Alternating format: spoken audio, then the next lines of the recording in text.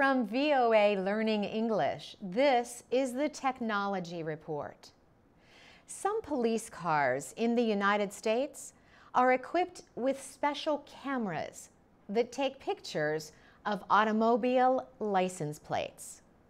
License plates identify a vehicle and its owner in state records.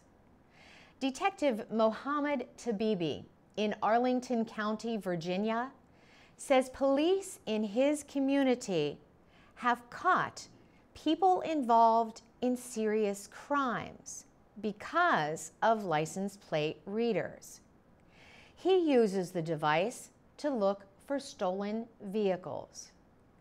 But privacy rights groups say they are concerned about license plate readers.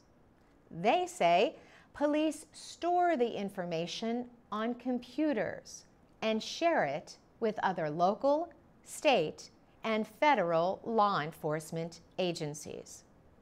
They say license plate readers can provide details of the daily travel of millions of Americans.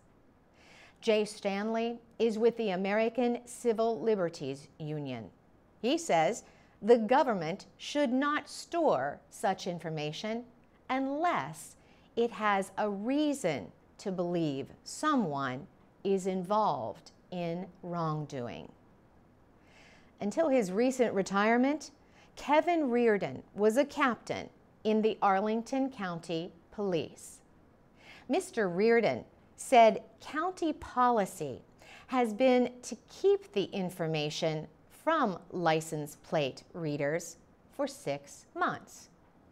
But he said other law enforcement agencies that use the county's information might keep it for an unlimited time.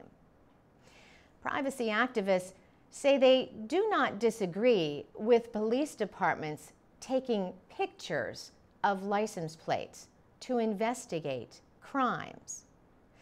But Jay Stanley says they are against storing all of the records for a long time. The ACLU has brought a federal case against the Department of Justice and the Department of Homeland Security.